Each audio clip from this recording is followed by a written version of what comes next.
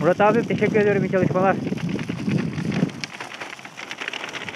Yusuf'um teşekkür ediyoruz.